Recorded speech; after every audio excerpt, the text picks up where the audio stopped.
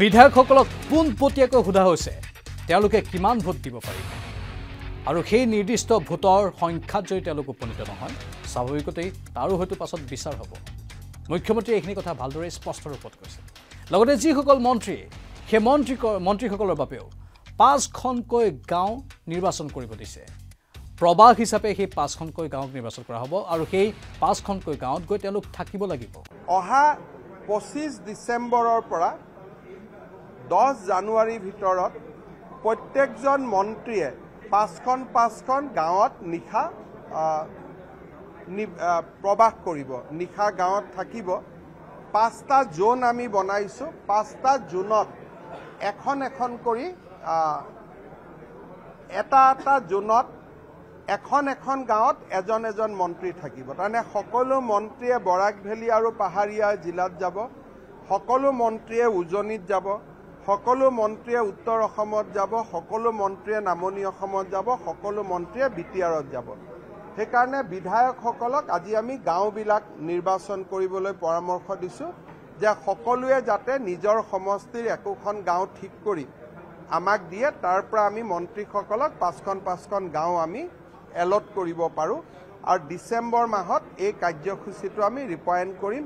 পঁচিছ তাৰিখে বাজপেয়ী ডাঙৰীয়াৰ জন্ম দিৱস সেইটো আমি গুড গভৰ্নেন্স হিচাপে পালন কৰোঁ পঁচিছ ডিচেম্বৰ। পঁচিছ ডিচেম্বৰৰ পৰা দহ জানুৱাৰী পোন্ধৰ দিনৰ আমি পাঁচদিন গাঁৱত ৰাতি থাকিম।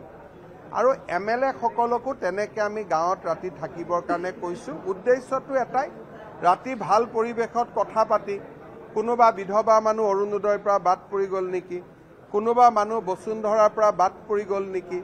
কোনোবা মানুহে ৰেচন কাৰ্ড নাপালে নেকি? এই ধৰণৰ কথা বতৰাবোৰ গাঁৱৰ মানুহৰ লগত আলোচনা কৰিম মূল কথাটো হৈছে যে প্ৰতিজন মন্ত্ৰীয়ে প্ৰতিখন ঠাইলৈ যাব লাগিব আৰু গাঁৱত থকাৰ যি প্ৰক্ৰিয়া সেই প্ৰক্ৰিয়াটো ডিচেম্বৰ মাহৰ পৰা আৰম্ভ হ'ব। লগতে মুখ্যমন্ত্ৰীয়ে কৈছে যে আমি আমাৰ লক্ষ্যত উপনীত হ'ব পাৰিম কাৰণ আমি আমাৰ হোমৱৰ্ক ভালদৰে কৰি লওঁ।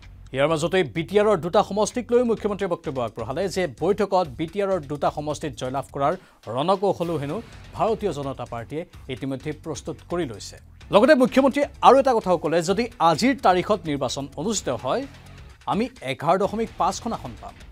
মানে চাৰে এঘাৰখন আসন পাম আজিৰ তাৰিখত নিৰ্বাচন হ'লে। আৰু চৌব্বিছৰ নিৰ্বাচনত আমি স্বাভাৱিকতেই বাৰখন আসন দখল কৰিবলৈ সক্ষম হ'ম।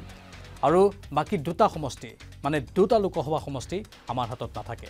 মানে চৈধ্যটাৰ ভিতৰত বাৰটা বিজেপিয়ে দখল কৰিব মুখ্যমন্ত্ৰীৰ মতে বাকী দুটা তেওঁলোকৰ হাতৰ পৰা গুচি যাব। আমি চাৰে এঘাৰটা চিটত আছোঁ বাৰ হ'বৰ কাৰণে চেষ্টা কৰি আছোঁ। আধাটো আমাৰ আছে এটা চিট কিন্তু আমি বাৰ ক্ৰছ কৰিব নোৱাৰোঁ। তেৰ আৰু চৈধ্য নম্বৰটো আমাৰ নহয় এঘাৰটোতো আমাৰ বাৰ নম্বৰটোত আমি চাৰে এঘাৰত ৰখি আছোঁ। ইয়াৰ মাজতে উত্থাপন হ'ল আসনৰ ভাগ বতৰাক লৈ প্ৰশ্ন। আসনৰ ভাগ বতৰা সন্দৰ্ভত মুখ্যমন্ত্ৰীয়ে কৈছে যে দিল্লীত ইতিমধ্যে আসনৰ ভাগ বতৰা হৈ গৈছে। আমাৰ সৈতে অগপ থাকিব আমাৰ সৈতে ইউ পি পি এল থাকিব তেওঁলোকেও নিৰ্বাচন খেলিব। আৰু যদি বি পি এফে ইচ্ছা প্ৰকাশ কৰে তেনেহ'লে তেওঁলোক আমাৰ সৈতে আহি চামিল হ'ব পাৰে। আৰু বি পি এফ যদি আমাৰ সৈতে চামিল হয় তেওঁলোকৰ বাবে ভাল হ'ব তেওঁলোকৰ পথ মসৃণ হ'ব। আসনো ভাগ বতৰা এক প্ৰকাৰ অলৰেডি হৈ গৈছে কোনো প্ৰব্লেম নাই।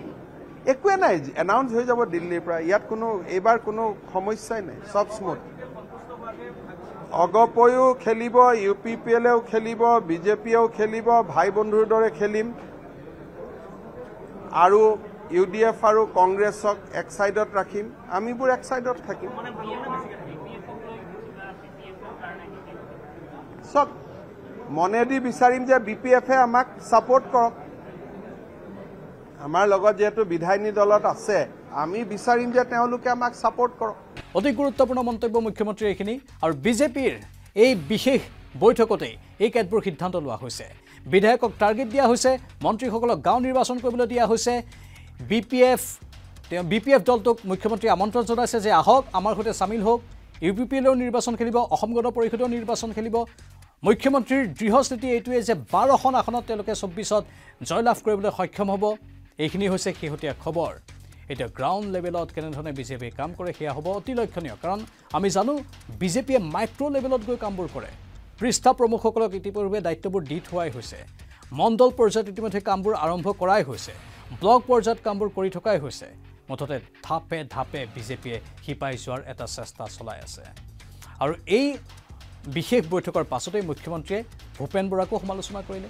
লগতে ৰাহুল গান্ধীকো সমালোচনা কৰিলে। সমালোচনাৰে তেওঁলোকক আকৌ এবাৰ থকা সৰকা কৰিলে। ৰাহুল গান্ধীয়ে এটা বিশেষ টুইট দিছিল আৰু সেই টুইটত মুখ্যমন্ত্ৰীক সমালোচনা কৰিছিল। তাৰ প্ৰত্যুত্তৰ দি আকৌ এবাৰ মুখ্যমন্ত্ৰীয়ে ক'লে যে ৰাহুল গান্ধীৰ এতিয়াও বহুখিনি শিকিবলৈ বাকী আছে। এজন অশিক্ষিত বালক হেনো ৰাহুল গান্ধী সেয়েহে ৰাহুল গান্ধীৰ কথা মোক নুসুধিব। মুঠতে ৰাজ্যৰ ৰাজনীতিত এতিয়া আগন্তুক দিনকেইটা অতি লক্ষণীয় হ'বলৈ গৈ আছে। নিৰ্বাচনী ধুমুহা যে বাৰুকৈ বলিব তাৰ ইংগিত ইতিমধ্যে পোৱা গৈছে।